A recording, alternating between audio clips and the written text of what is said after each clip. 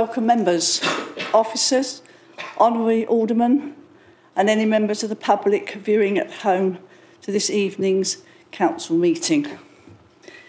Please be seated.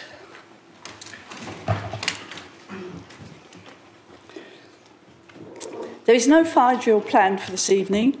If the fire alarm sounds, please make sure make your way from the chamber using either the fire escape to my right or via the stairwell that leads off from the lobby outside the chamber. Item one. Ms Willis, may I please have any apologies for absence? Thank you, Madam Mayor. So I've received apologies from Councillor Mark Gordon, Councillor Liz Noble, Councillor John Skipper, Councillor Helen Whitcroft and Councillor Leanne McIntyre. Thank you. Item two. Moving on to agenda item two, I propose that the minutes of the meeting of the Council held on the 21st of February 2024 be approved as a correct record. Do I have a seconder? Thank you, ma'am. Yes, I would like to second that. Is that a... Could Councillor I raise, raise a point, point of order on the uh, item dealing with the 50th anniversary? Um, I was just wondering how this squares with the Leader of the Council's statement that no resources uh, of office, time or finance would be devoted to marking the 50th anniversary of the borough. How that, how the statement as it reads there squares with that.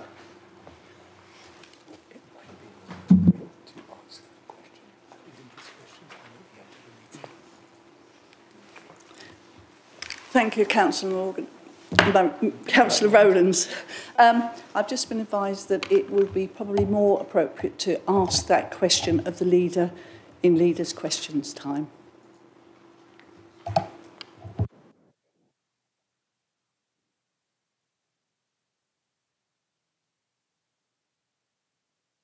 Is that agreed, members?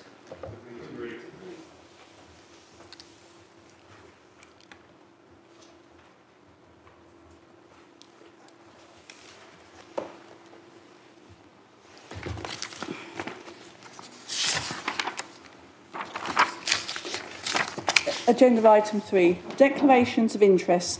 Do any members have any disclosable pecuniary or non-pecuniary interest to declare in relation to the matters which are to be considered at this meeting?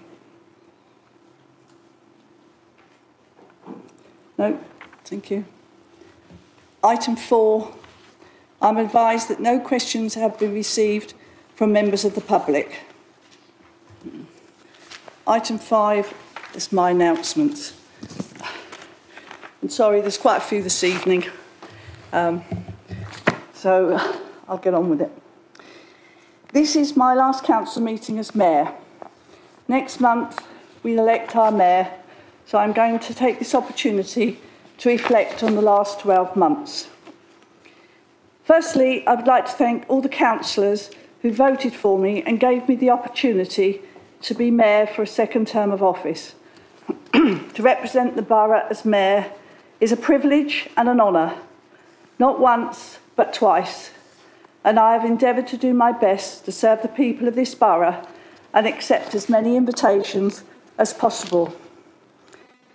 On my year, I have visited many charities and organisations who support the less able in the community and who have not been able to continue they've been able to continue their valuable work without the willing band of volunteers. So a big thank you to all the volunteers who give so generously of their most valuable asset, their time, to helping others. Having visited many of the charities, clubs, societies and youth organisations, it makes you appreciate that without the volunteer, Surrey Heath would be a much poorer place. You see the same old faces, but in many different guises.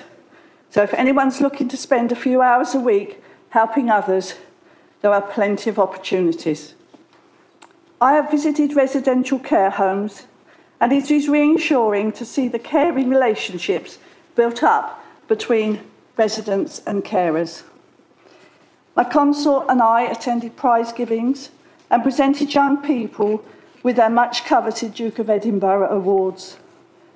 watched with admiration the action, excellent production of the high school musical performed by students at Collingwood College. It must have taken many hours of hard work by both pupils and their teachers to achieve such a high standard. Well done, Collingwood. I attended the Camberley Theatre to watch productions from two local dance schools, ages ranging from 2 to 20. That's quite a spectacular when you see the little ones. We have so much talent, enthusiasm, and dedication by teachers who support these young people, and this must be encouraged.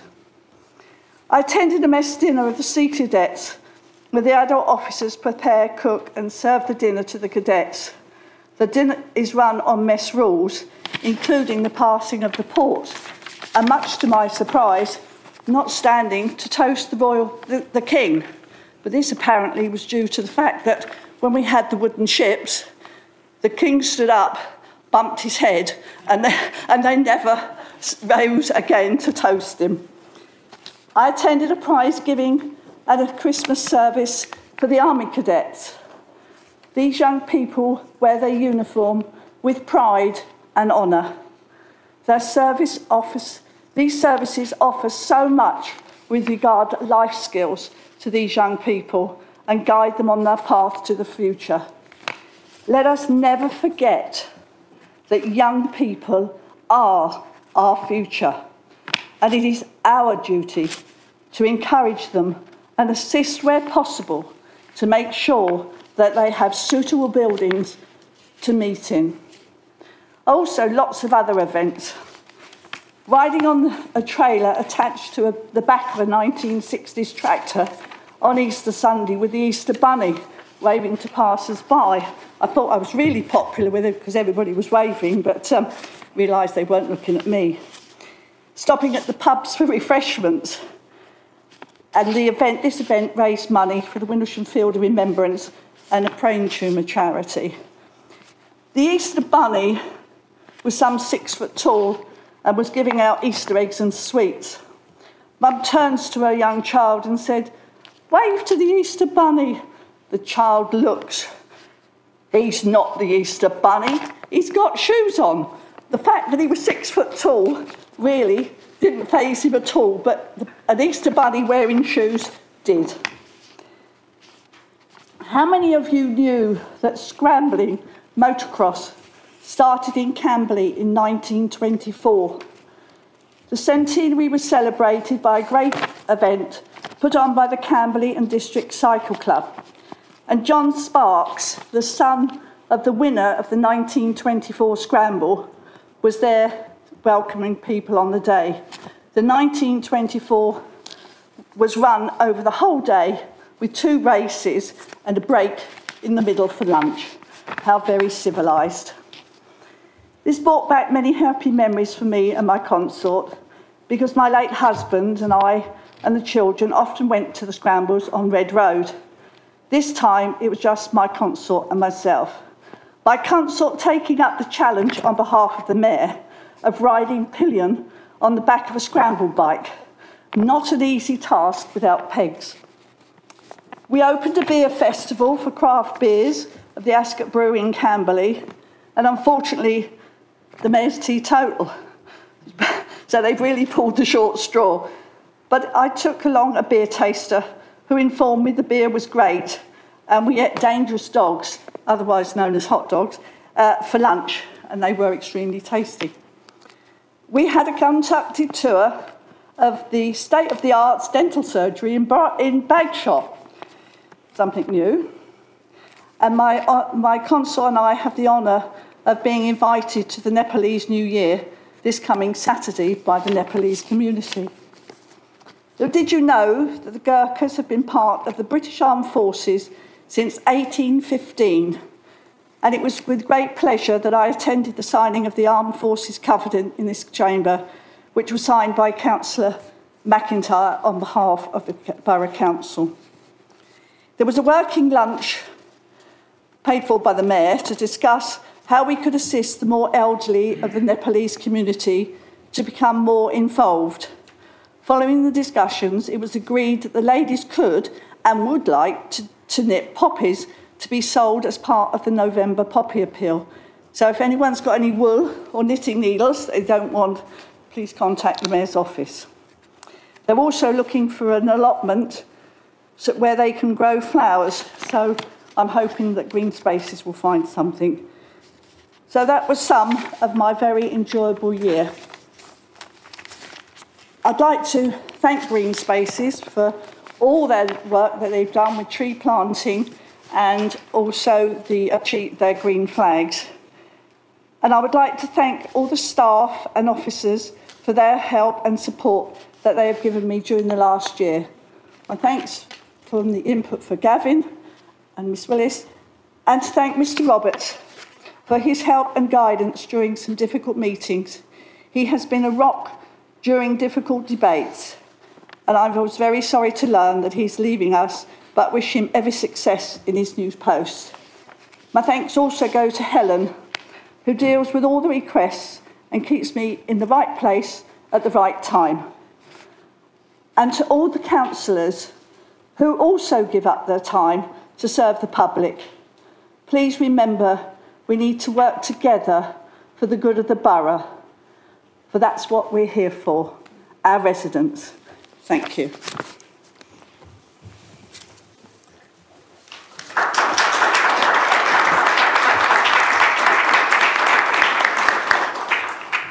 Thank you. Agenda item six, I would like to invite the leader, Councillor Sean McDonald, to make his announcements. Thank you, Mayor, and thank you for your update and words. As we are currently in the formal pre-election period, I will keep my leader's announcements brief and factual. Some might say bland in tone, some might say what's changed to normal, but maybe even that assessment is political in nature and banned today. Firstly, I would like to thank everyone from across the Chamber who attended the official signing of our new Armed Forces Covenant on the 20th of March in the Council Chamber in the presence of a number of veterans of our own, as well as local key stakeholders. The Covenant recognises the huge sacrifice made by military personnel and their loved ones, and the significant disadvantage faced by so many ex-service men and women in trying to access employment, housing and other services once they leave. Moving on, I also wanted to let members know that Surrey Heath residents and entrepreneurs, Shelley and Jerry Lawson, received one of the first ever King's Awards for Enterprise this week from the Lord Lieutenant of Berkshire for their business Frog Bikes Limited, targeting kids' well-being and health by active travel through cutting-edge design, fabrication and assembly focused on sustainability.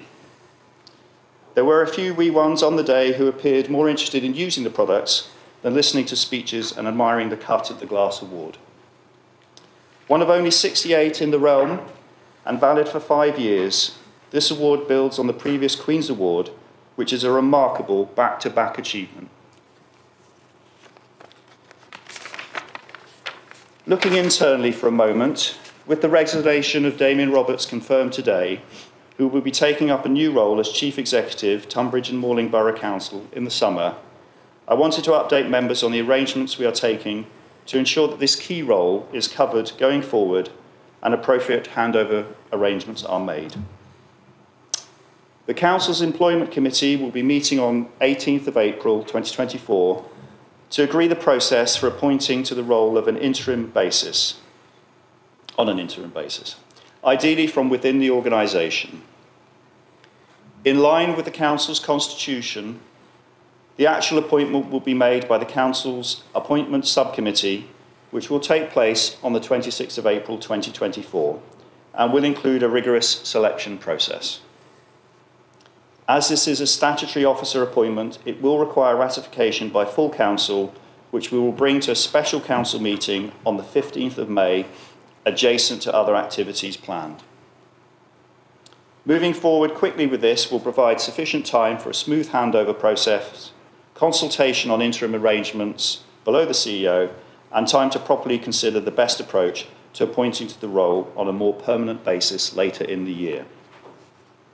I'm sure you will all want to congratulate Damien on his new appointment in your own time and place. Just as an update, I wanted to confirm that the timetable of committee meetings for the new municipal year that was agreed with group leaders is in the process of being scheduled in our diaries. This will include the additional meeting of Performance and Finance Scrutiny Committee we agreed last year as part of strengthening this function, a provisional date relating to civic awards, and a special executive and full council meeting on the 26th of June to consi- consider the Regulation 19 version of the local plan. This is a very important stage in the development of the Council's new local plan, so we will be arranging two separate dedicated briefings with time for questions in the lead up to the formal meeting. Might be worth also checking your eye test is up to date, as the rumour has it it's going to be quite some tome coming our way.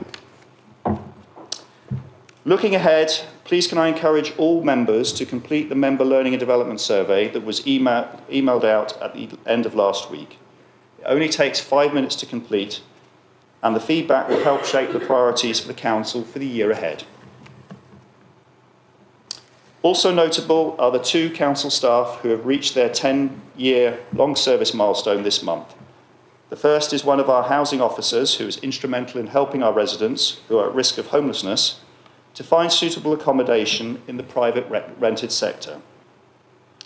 The second is one of our environmental health assistants who supports the work across the whole service, but also specialises in the inspections related to animals, including riding schools, animal boarding, and dog breeding. Thank you both for your service on behalf of us all. Lastly, as part of our commitment to staff learning and development, there are two more recent successes that I wanted to update, update members on. The first is that the Council's parking service manager, who has gained his City and Guilds qualification relating to parking management. The timing of that was not, uh, didn't pass me by.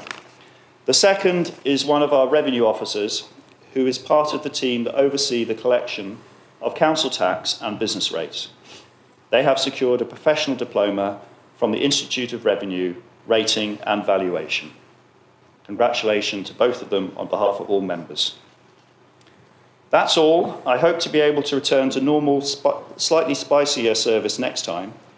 However, in the interim, I trust we would all encourage residents, whatever they or we are minded to do, in engaging in the democratic process shortly, something hard won and easily lost, so vital for us all to protect, encourage, and support. Thank you, Mayor.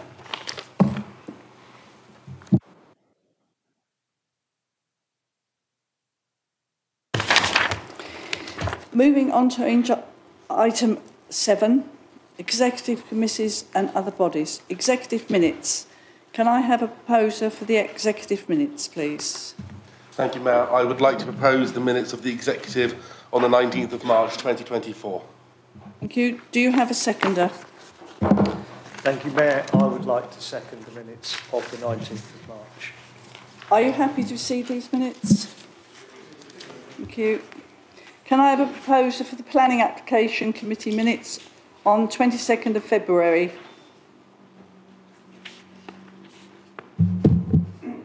Thank you, Mayor. I would like to propose the minutes of the Planning Applications Committee of the 22nd of February 2024. Do you have a seconder? Uh, thank you, Madam Mayor. Yes, I'm happy to second the Planning Application Committee um, minutes from the 22nd of February.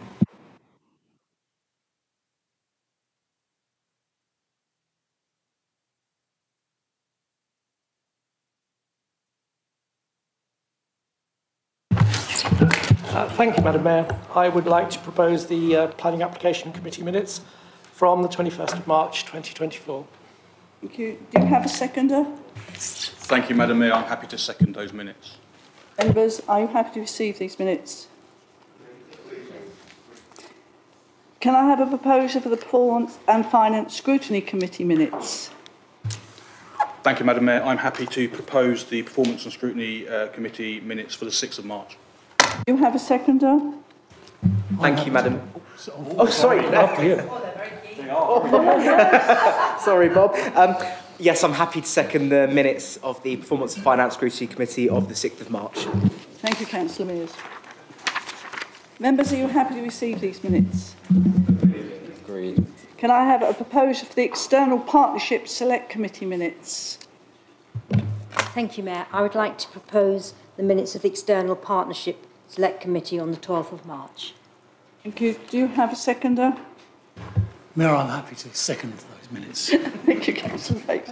Members, are you happy to receive these minutes? Can I have a proposal for the Audit Standards and Risk Committee minutes? Thank you, Madam Mayor. I would like to propose the uh, minutes of the audit stand. 26th of March, 2024. Thank you, Councillor Bretton. Do you have a seconder? I'm happy to second those minutes. Thank you, Councillor Rakes. Members, are you happy to receive these minutes? Can I have a proposal for the Employment Committee minutes? Uh, thank you, Mayor. I'm very happy to propose the acceptance of the Employment Committee meeting uh, minutes that took place on the 28th of March. Thank you. Thank you. Do you have a seconder? Thank you, Mayor. I'm happy to second those minutes. Thank you. Members, are you happy to receive these minutes? Can I have a proposal for the notes of the Joint Staff Consultative Group? Thank you, Madam Mayor. I'm happy to propose the minutes of the Joint Staff Consultative Group held on the 7th of March 2024. Thank you. Do you have a seconder? Thank you, Mayor. I'm happy to second those minutes of the meeting that took place on the 7th of March 2024. Members, are you happy to receive these notes? Members, you will see there's a late item to be added to this agenda. Can I have a proposal for the recommendation? Thank you, Mayor. I'm happy to propose the recommendation. Thank you. Thank you, Councillor MacDonald. Do you have a seconder? Thank you, Mayor. I'm ha- happy to second. Do you have any comments, members? Councillor Wheeler? Um, thank you. Um, my understanding was that because it was a full um, council meeting, it was something that needed to come to the vote of the full council, but I'm happy to be corrected by that um, from our legal advice. Um, this is an allocation to the capital programme that um, was agreed in February. I appreciate that in February we were only at the very early stages of the RAAC investigation, but I would have thought some contingency could have made, been made for it there. Um, there is in confidential matters um, a semi-justification on the costs that are associated with not doing anything in relation um, to this matter. These include, and I obviously won't go into details because they're confidential, staffing costs and various loss of income items. I asked further questions about some of these items earlier today, but answers were not given, and I was referred to re ask the questions to the portfolio holder. In brief, without the information before me um, and the responses to the questions that I asked, I do not have sufficient detail, detail to let me be sure that approving this additional allocation from our funds to our capital programme represents good value for money for our residents. The need to rush into this in this meeting with the last minute papers and many unanswered questions puts me in mind of the last time that I was in this chamber with that kind of decision before me. And that related to the purchase of the House of Fraser. And we all know how well that went. Thank you. Councillor Quinn? Thank you, Mayor. Um, just a couple of quick points to make. I note that a council press release was released a couple of days ago um, about this decision that seemed to preempt it coming to a formal vote tonight. Um, I just found that a bit strange that a press release was released by the council before we've actually made a decision. Um, and I'm wondering why we're not taking the opportunity to simultaneously look at improving the energy efficiency and visitor experience at Camberley Theatre, along with dealing with the wrapped concrete issue. So, for example, the draft and cold spots in the reception area.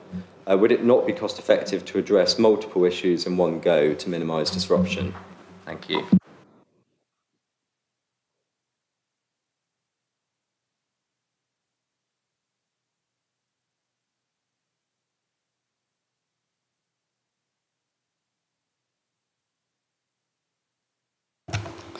Councillor MacDonald, I've just been advised that um, it may be prudent for you to introduce this motion. Thank you very much, Mayor. Um, I think maybe my civility got the better, better of me there. Um, thank you, Mayor. Um, as Councillor John Skipper is enjoying much deserved time with his family uh, this Easter holidays, it falls on me to introduce this item. The theatre is the only council-owned building where we have found RAAC to be present after a wide-ranging review across the borough, for which we thank Darren Burgess for his commitment to ensuring we keep residents and others safe. This item is seeking approval of an increase in the capital programme of approximately £625,000 to enable the proactive remediation of the RAAC concrete at the theatre, subject to confirmation of the exact risk-based requirements from professional technical advice after intrusive inspection. We know that the nature of RAAC is that it deteriorates over time and that at some point the condition of the RAAC in the theatre will reach a point where we will have no option but to close the venue if not remediated appropriately. Rather than wait for this point to be reached, which could be weeks or months or years away for different areas of the theatre, and could result in an extended, unplanned period of closure, this report seeks Council approval to make financial provision now within the cap Council's capital programme for the required remediation works that potentially will be required to secure its position as a much loved community cultural hub in Surrey Heath into the medium term. The advantage of doing this now is that it will enable any future decision regarding specific remediation works to the RAAC to be undertaken in a timely and efficient way, minimising the period during which the theatre will have to close and enabling detailed design and commissioning of the works to be undertaken at a later stage, at an earlier stage, sorry. As it is the norm for the Council's capital programme, once the funding has been allocated, the decision on the detailed scope, timing and oversight of the works will be one for the Executive to consider. A report on the approach to tackling the RAAC in the theatre is due to be considered by the Executive next Tuesday, and the papers have been published to which the press release refers to, not the decision this evening around the capital budget. Allocating the funding within the capital programme at the meeting this evening will enable the relevant executive members and officers to navigate smoothly through a fluid situation effectively. Lastly, I would like to thank Kaylee Stockley for her positive leadership of the theatre team through this uncertain period, as well as Sue McCubbin and especially Nick Stevens in the preparation of the various reports and associated briefings to members. Thank you, Mayor. I would like to move the recommendation to increase the capital programme by approximately 625,000 as per the detail in the report for the RAAC remediation and related works at the theatre, subject to the executive meeting next week. Thank you.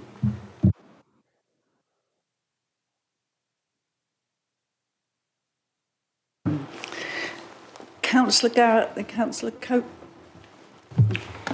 Thank you. Thank you, Madam Mayor. Um, firstly, I've never made a secret that I am a massive supporter of the arts and Camberley Theatre as a regular user of the, of, of the place. So the fact that there's any chance that it could be shut for a even a short period of time is, is a scary one for me.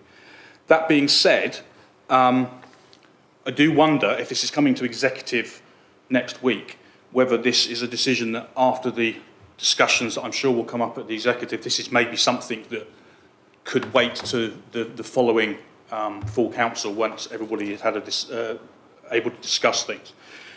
If we relate back to the paper that's out for the executive, there are a few things that um, come to mind. Um, one is £625,000 capital budget. Where is that actually going to be coming from? Because um, obviously that's not an insignificant amount of money. Um, and I'm aware that we're obviously in a difficult financial situation. Um, income loss, because as the paper also says, the executive paper, not this paper, shows that the theatre is going to be shutting on the 15th of April, which is next week, and it will be shut for three weeks. Um, do we know at this point what income will be lost from the three weeks closure? And do we believe, as a school governor, having dealt with asbestos before, I know that when you have a plan, they don't always go to plan. Um, and the, whilst three weeks is still three weeks, if the, they find more asbestos or there's more damage, that obviously could be extended. So what are the long, what are the, the I moving forward as far as the costs involved in the shutting of the theatre for the three weeks plus, and obviously um, the people that were coming in will have books to come in and they'll be expecting the income. So, I, and I appreciate all of uh, those things may or may not have been looked at because this has been obviously a quick decision.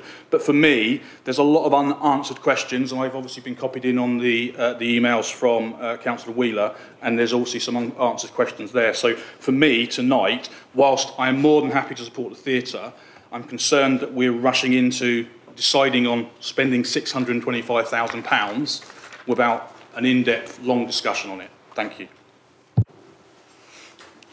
Thank you, Councillor Councillor Cope, then Councillor Mears. Uh, thank you, Madam Mayor.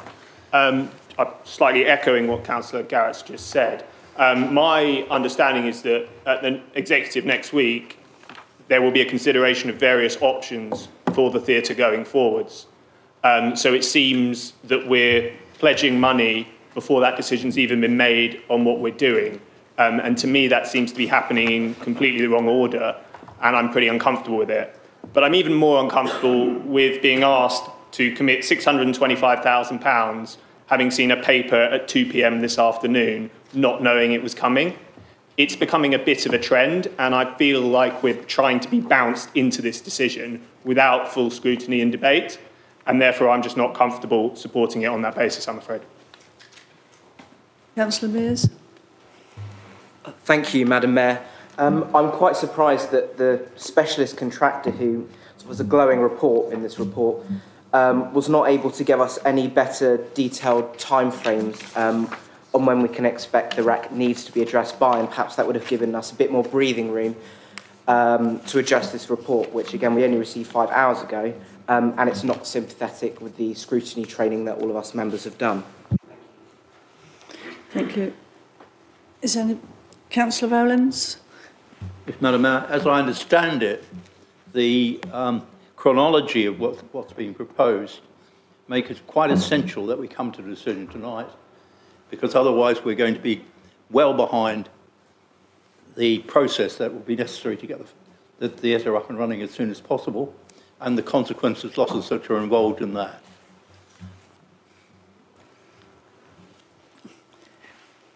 Councillor McFadden. Uh, thank you, Madam Mayor. I just want to make an observation of what the Conservative members have been saying here.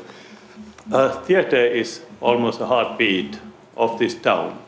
And we have come to know about rec problem recently, and a figure figure has been put together by the exec for us to consider. That does not mean it will be used until the exec looks at it in detail. Having said that, you someone asked a question, I'm not here to answer on behalf of the leader, having dealt with money. That, having said that, the 600,000 comes out of a capital budget, which is not, you borrow the money, you spend it, you earn it, move on. That's the way it works. I hope, I hope I made my position very clear. I'm an absolute supporter of the theatre, and I'll be voting for it. Thank you, Madam Mayor.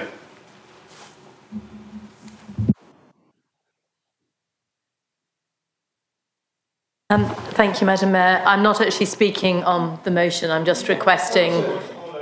I'm just requesting that when we come to a vote, it's a recorded vote. If there is somebody else that will second that, thank you. No, I'm happy to second that.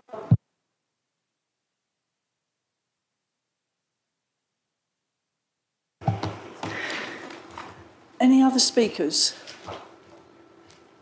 Councillor MacDonald? Thank you, uh, Mayor. Um, I think it's important maybe we take some input from the officers as to why we are doing it this way round, because I do understand the comments of uh, the colleagues across the chamber that normally we would do this the other way round. Um, perhaps somebody could give me some insight, perhaps the chief executive or the monitoring officer could just give everybody some insight of, around this minded to recommendation that I believe we're doing this evening. And then I'd like to come back, if that's possible, with the Mayor's forbearance.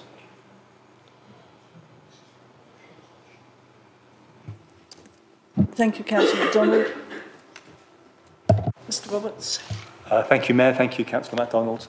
Um, Members will recall that uh, the Council sets usually its capital programme uh, at the budget setting meeting. It makes broad allocations against particular themes, uh, but that money cannot be spent until a report, a more detailed report, is brought in front of the executive, setting out the options, the scope, the timescales, the costs. Um, the question's already been asked about why wasn't this brought forward as part of the capital programme in February. And the answer is that the understanding of the situation on RAAC within the theatre was still unfolding. Um, with the benefit of hindsight, maybe it would have been prudent to include a provisional allocation at that stage. But we're also very careful not to put items in the capital programme for things that we are unlikely to be taking forward. It's only come to light in recent weeks, following the ongoing survey work within the theatre, that there is a very real risk that further investigations could identify problems with the RAAC that could result in the closure of the theatre.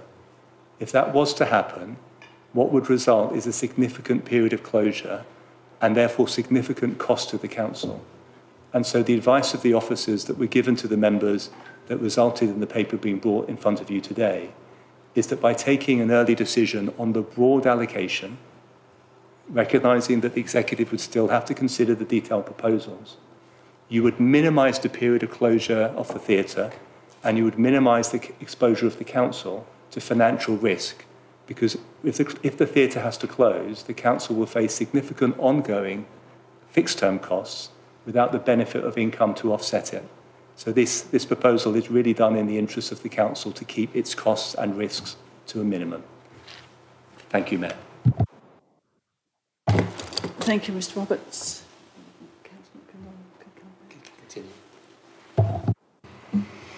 Councillor MacDonald. Thank you, Mr Roberts. Thank you, Mayor. Um, what I picked up from the various comments from the members was a, was a few things. Oh, Mayor. sorry, Mayor, I think Mayor, your, your light's on. Thank you. Um, a few things there. There was, there was why now.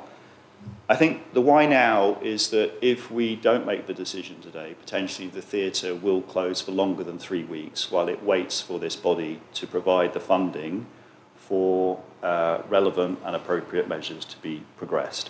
And I don't think that's in the interests of the town. I don't think that's in the, in the interests of the staff in the theatre. Uh, and I don't think it's in the interests of, of this council's reputation as a whole. So by making the decision today to give some headroom to the capital budget, uh, we um, potentially avoid doing that. Now, it is not the intention um, to go crazy and spend that month 625,000 on day one.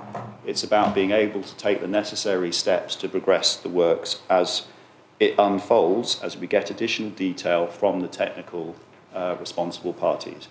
And I'm sorry if Councillor Mears, you think the technical body should be able to already give this information to us, but unfortunately they've not been able to inspect all of the RAAC planks yet, and that's why we need to give them time to do it properly. So that's the why now. In terms of where is the money going to come from, I think that is a discussion that we still need to have as an executive, and we need to take advice from the 151. We do have potentially the option of taking it from reserves, this is something that is out of the blue. I think we're all aware that this issue across the public estate has emerged over the last year in particular, uh, and therefore potentially very much the, the, sort of thing you would have money squirreled away for uh, to address. However, that is not a decision we've made and not a discussion we've yet had. Um, but yes, whether we take it uh, from reserves or whether we take on uh, additional borrowing and MRP associated with it is still a discussion to be had. Um, I think it's fair to say that some of the challenges with this building um, may allude to a pattern of behaviour we have seen with respect to the assets across the estate, uh, and that's something we'll maybe come back to this chamber at another time and another juncture, uh, given the constraints we're all under uh, at the moment. In terms of the question I think Councillor Garrett asked, or the point Councillor Garrett made around what is the cost of the three-week closure? We believe it to be marginal. And the reason for that is, and I can't, I can't exactly remember the phrase, but something like delicate rephrasing, rephasing has happened. What that means is acts have been encouraged to have their events outside the three-week window. Um, so we haven't, in theory, lost that. I think we all know in reality taking three weeks out of a programme will have some kind of impact. The numbers are there, you've seen them in the, in the report in terms of the staff costs and other things uh, per, per month. So yes, there would be a cost, but probably not as much as those headline figures. Um, I mean, and that is indeed one of the key issues for the theatre going forward, depending what we uncover during this work, this three-week window, is how long would it be required for any remedial work to take and, and what impact that might have uh, more widely. We have seen some information, and I'm probably breaking all precedents by telling this up front, but we have seen some information that we believe the theatre probably adds 50p for every pound it takes into the local economy. Uh, and therefore, that is something that we need to reflect on uh, going forward, which I think intuitively everybody knew, but we, uh, we're starting to get some, some insights into that area, uh, and thanks to the work of the officers uh, and the support team for that.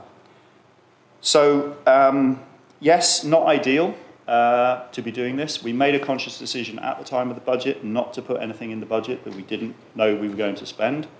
This has unfolded over the time since the budget was put together, uh, and therefore it's appropriate as a as a mature organisation that uh, wants to wants to do the right thing by the town, that we bring this thing forward to the council uh, for consideration. But like I say, the decision today is just to increase the capital headroom that we have. The decision about how we spend that money, when we spend that money, what we spend that money on resides with the executive, and we'll start that journey next week, as well as the associated controls that go around it. Thank you for, your, thank you for your time and forbearance, Mayor. Thank you.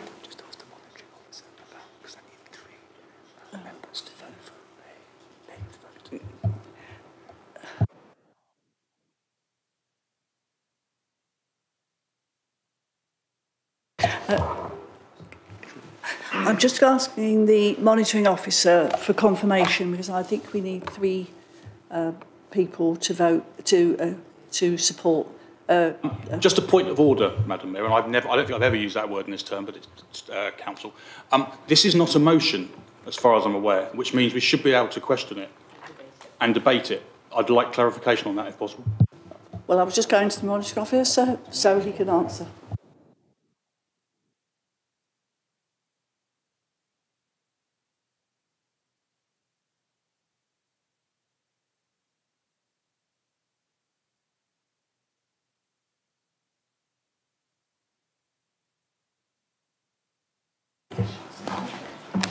Thank you, Madam Mayor. Um, so for this, for this item, councillors are allowed to speak once, and then we will, we will move to the vote in the, in the ordinary course of any item that comes to council. Okay.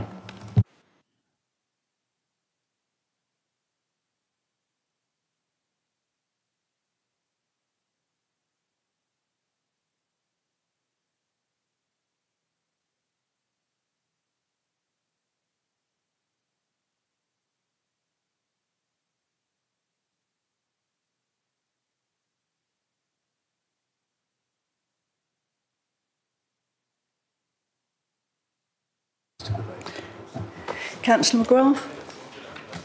Ask if it could be like a roll call, a recorded vote as well, please. Thank you.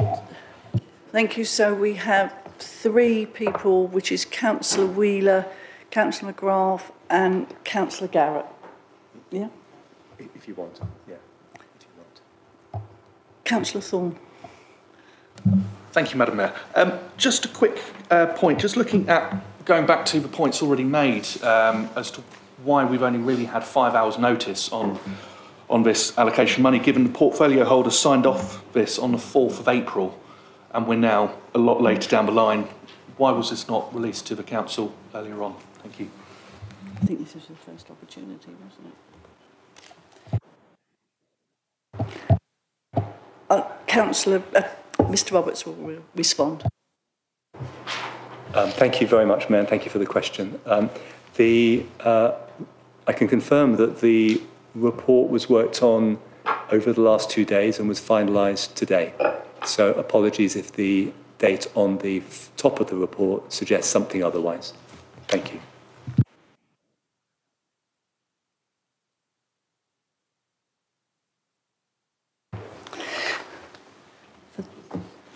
No, the debate's finished, isn't it? Is it a point of order, Councillor Lee? No. Then um, I'm told the debate is finished. Um, I, I, for the second time I've been denied to speak. My democratic right as an elected representative. That is unacceptable. Just on a point of order, Madam Mayor. Point This is bullying. Uh, Point of order, I would just refer you to the fact that Councillor Thorne just asked a question after the leader had spoken. So in that point of, while that may have broken the rules, I would say that that rule has now, now been broken and Councillor Lee should be allowed to speak. I will ask Mr Roberts. Um, thank you, Madam Mayor, and thank you, members. Um, my understanding is that the Mayor uh, asked if there were any other speakers. There were no other speakers. She then referred to the leader to exercise his right to reply. Point of Um, order. And at that point... Point of order, no, that's not what happened. The leader, I, I apologise for interrupting um, Chief Executive. The leader gave his remarks. Councillor Garrett then went to Councillor Thorne to, ask, to, to say, ask this question. Councillor Thorne then asked his question. So Councillor Thorne spoke after the leader. I'm sorry that we seem to fall into these procedural mishaps, but that has happened, and I think Councillor Lee should be allowed to ask a question.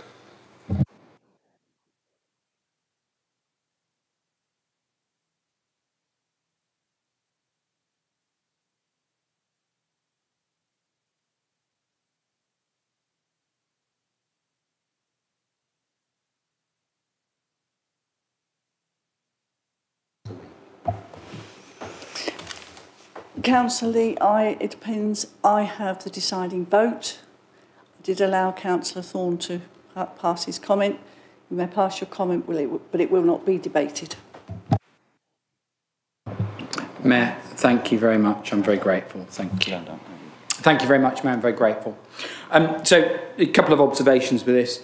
Obviously, RAAC's been known about for many years, so one wonders if there's anything that's been accrued in the accounts for these forthcoming problems from the previous administration. So, do we have anything in the finances accrued uh, to cope with these types of problems? And were there any previous reports um, in relation to uh, the RAAC or any investigations carried out prior to the current administration? Thank you. Right, so we are going for the original proposal. Right, members, we are going to vote on the original proposal and it will be a recorded vote. Thank you, Madam Mayor. Uh, and good evening, councillors. So for this recorded vote, when your name is called, I'd be grateful if you could confirm for, against or abstained. Councillor Alan Ashbury. For. Councillor Louise Ashbury. For. Councillor Cliff Betton. For. Councillor Johnny Cope. Against. Councillor Kel Finan Cook. For. Councillor Lisa Finan Cook. For. Councillor Sean Garrett. Against. Councillor Mary Glauert. For. Councillor Julie Hoad. For. Councillor Nirmal Kang. For. Councillor Sabi Kang. For. Councillor Rob Lee. For the theatre. Councillor Sean MacDonald. For. Councillor Emma Jane McGrath. Against. Councillor Lewis Mears. Against. Councillor Shashi Mylvaganam. For. Councillor Jacques Olmo. For. Councillor David O'Mahony. For. Councillor Ying Perrott. For the theatre. Councillor Jonathan Quinn. Abstain. Councillor Bob Rakes. Four. Councillor Murray Rowlands. Four. Councillor Morgan Rise. Four. Councillor Pat Tedder. Against. Councillor Josh Thorne. Against. Councillor Kevin Thompson. Four. Councillor Victoria Wheeler. Against. Councillor David Whitcroft. For. Councillor Valerie White. Against. Councillor Richard Wilson. For.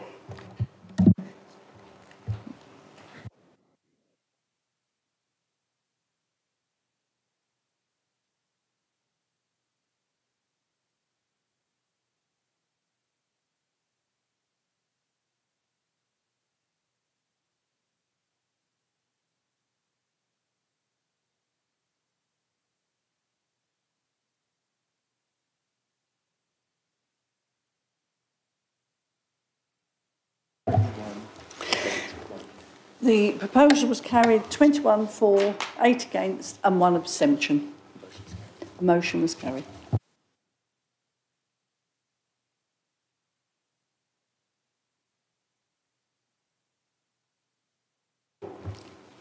Questions from councillors? I've been advised that no questions have been received from councillors. Leaders' question time. I would like to invite members to ask questions of the leader, Sean, Councillor Sean MacDonald, on issues relating to executive functions. Where appropriate, Councillor MacDonald may refer to refer a question to another portfolio holder to respond. You will be aware that the 20 minutes is allocated to leaders' question time. As usual, so everyone can have a chance, I will try to ensure all members have had an opportunity to ask a first question before I invite you to ask a second question. So if you wish to ask more than one question, please prioritise a first question. Please also keep your introduction to your question as short as possible so that we can hear as many questions as possible. As you will be aware, we are in the pre-election period. Please can I remind you to avoid any overtly political questions or statements that could be construed as electioneering. Can I now have the first question from members, please? Councillor Rowland. Councillor Rowlands. I just wonder whether I need to repeat the question again. um, if the leader has, has cottoned onto it or is aware of it, perhaps you could answer um, on that basis.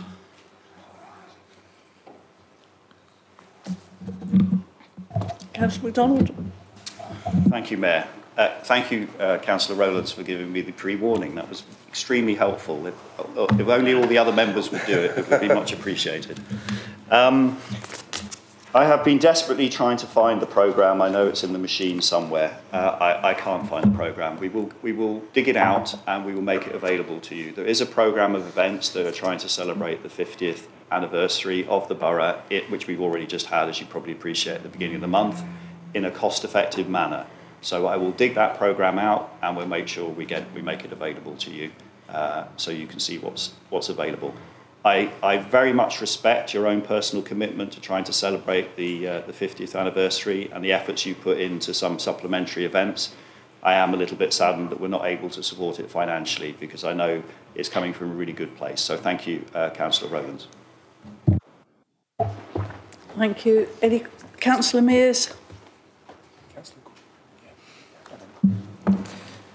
Thank you, Madam Mayor. Um, I'm going to try and keep this as short as possible. Um, in 2021, a planning application uh, for three new homes um, in Old Dean was refused. Cite, uh, reasons cited for the refusal was because it had eroded the tree compartment located between Larchwood Glade and Evershire Drive.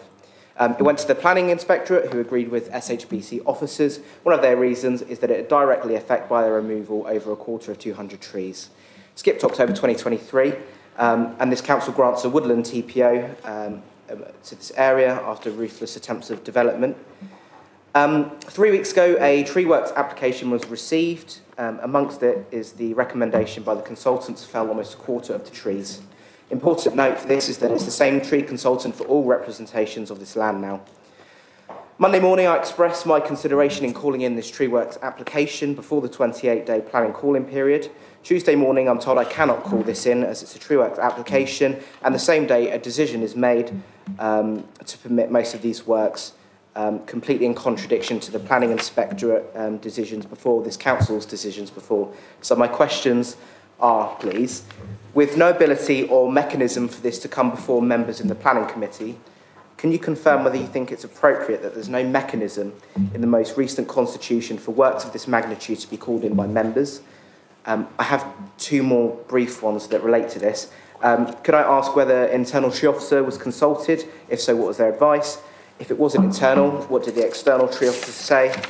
And finally, all the applications um, refer to the same tree consultant, SMW Tree Consultancy.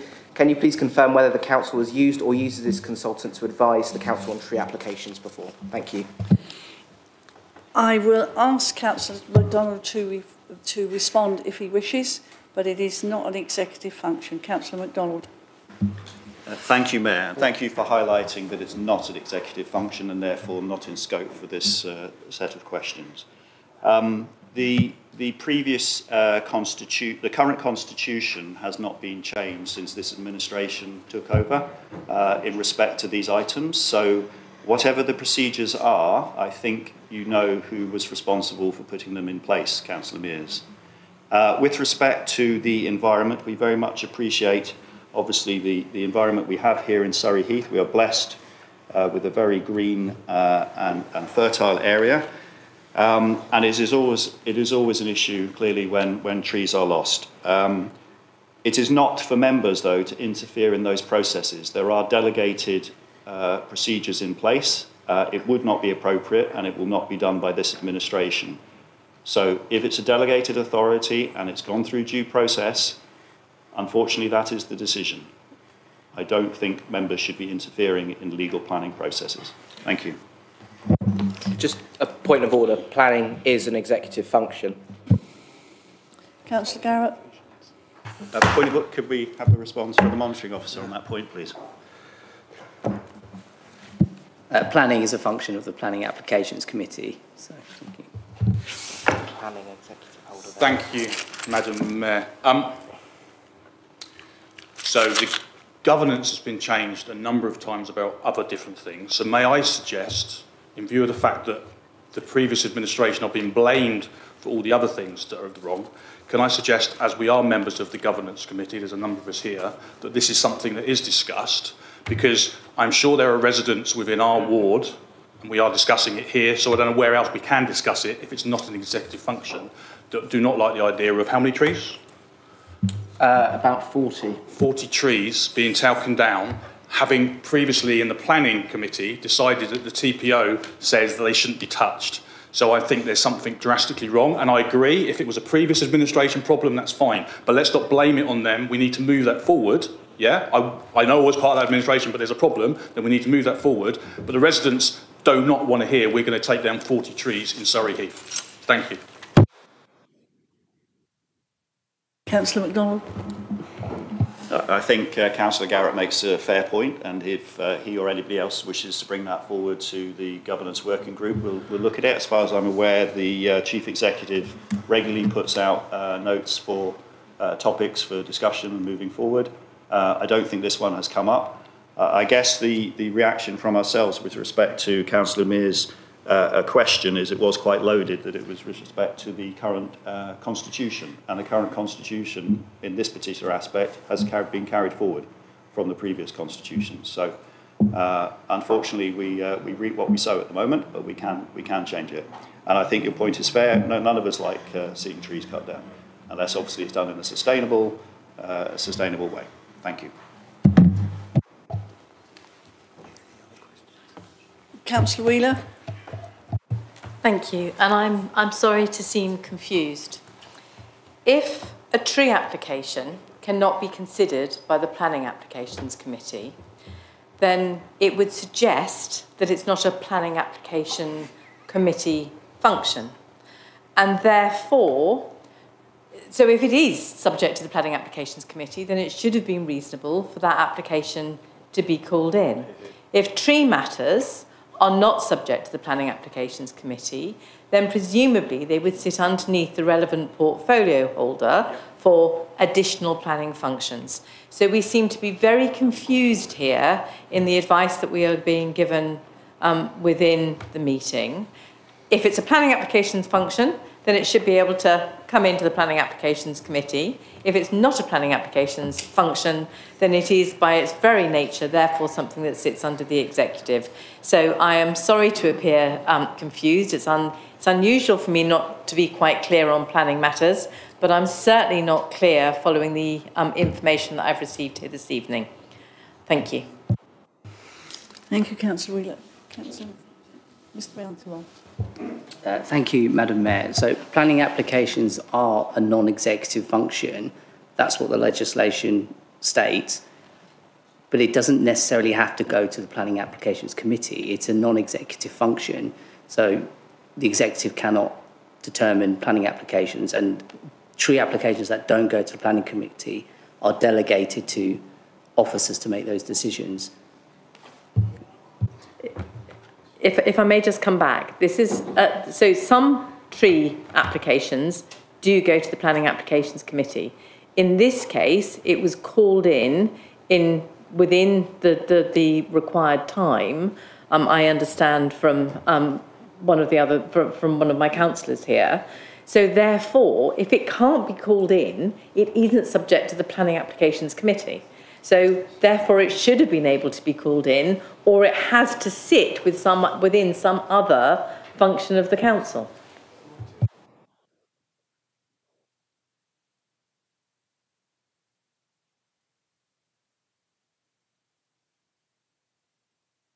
I'll put it on government. Okay. Okay, Madam Mayor. Madam Rounds, officer. Uh, uh, thank you, thank you, Madam Mayor. Uh, thank you for your further question, Councillor Wheeler. I think we should discuss this offline. It's not a it's not a question for the leader to have to answer in leaders' question time. It's not it's not an executive function, but I think we can we can discuss that offline and clarify any any questions. Thank you. Any que-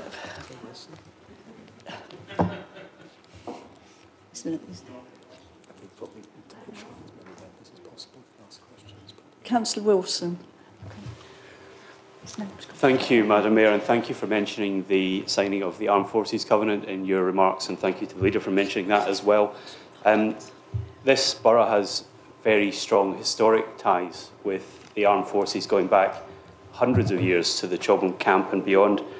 And I was very proud to hear that the council has signed the Armed Forces Covenant.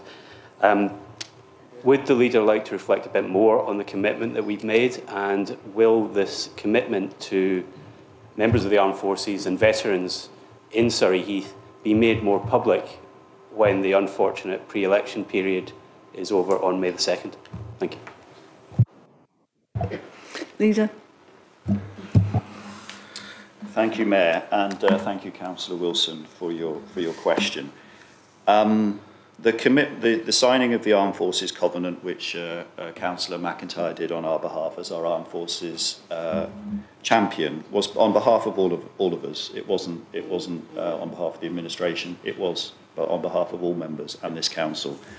And the commitment we made is to make sure uh, that we give uh, veterans and serving personnel and their families the best possible chance uh, of, of equity due to the uh, challenges that they face. And, and it's, um, as I said in my speech at the time that a few of you, you heard, it was a, a, something very close to my heart due to uh, family connections. So uh, we will be delighted to, um, on behalf of the Council, uh, publicise that at the end of the period and make sure that everybody in the community knows that we're making that commitment because it's only by spreading the word out there uh, beyond this group of 35 people uh, can we ensure that the people need our help uh, access our help and we need the members of the community that read the posts to, to encourage that. Thank you for your question. Councillor Thompson. Thank you, Mayor. Uh, can the leader confirm whether or not the, the previous administration had any structural inspection programme in place at all for any of its buildings, including the theatre. Thank you. Councillor MacDonald. Uh, thank you, Mayor. Uh, I think I may head towards very thin ice uh, quite quickly here if I'm not careful. And therefore, what I would suggest is that we, uh, we come back to you uh, in writing, uh, but also we assemble the facts because I don't think we know at this moment in time, and therefore it would be unfair to, to give an answer on, on the hoof. Uh, so we'll come back and I'll take guidance as to whether that has to be beyond the normal uh, five working days. Thanks very much. Thank you. Any other questions? Councillor Rowlands, then Councillor Wheeler. Um, in the light of the clear indications of Thames Water, um, Thames Water's impending bankruptcy, the Council should support the possible nationalisation of the company and a and then make a reapproachment to Thames, because it certainly looks certainly as though Thames are having to go into administration, and it will be essential that the state steps in to support them. So I suppose it's a plea not to give up on the immense amount of work we put into dealing with the stink. Um, and if it, is if it goes into uh, public ownership, we should actually be making it, making it aware, the government aware of our view, views on the, on the stink and the difficulties people faced. Councillor MacDonald. Thank you, Councillor Rowlands. Uh, thank you, Mayor, sorry, and Councillor, thank you, Councillor Rowlands, for your question. Yes, I, I have to admit, Councillor Rowlands, I'm at wit's end as to what to do with Thames Water, but then I think the government is as well, and, and a few other people. So um, it's a very, very sorry uh, set of circumstances overall, uh, and specifically, obviously, for your residents and the, the residents of, of Watchetts wards as well. Um, what I can say is that we will continue to try and use every uh, angle we can to, to uh, see whether we can progress the, uh, the meaningful community compensation that we have been. Um, it's fair to say that, uh, that I think uh, um, another responsible person that cannot be named is also trying in his own way to, to do the same. Uh, so we, we, will, we will try and progress that. It is not really uh, for my pay grade to make decisions about the nationalisation of, of Thames Water or any other uh, uh, state-sponsored utility. What I can say is I think the regulatory environment, whether it be the commercial or the, um, or, or the uh, uh, protection of residents is, is sadly, sadly lacking. And I suspect agreed by the majority of this chamber.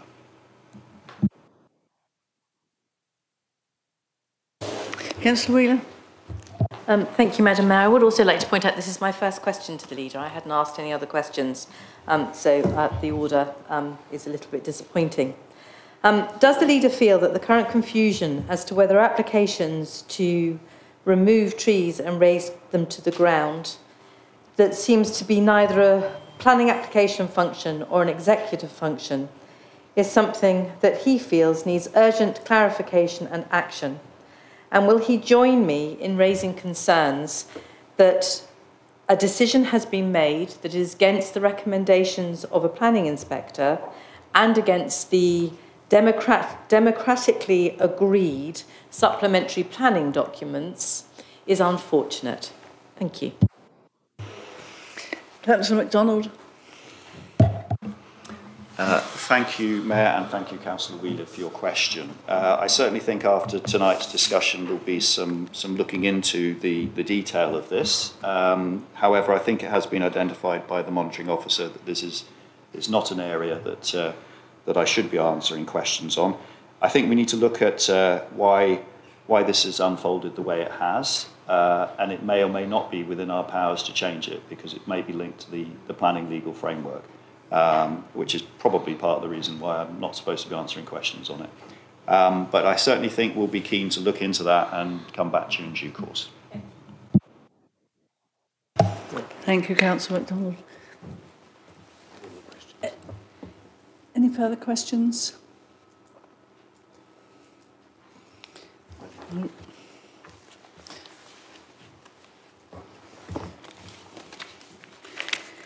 That concludes the business of the meeting and I'd like to thank everyone for attending.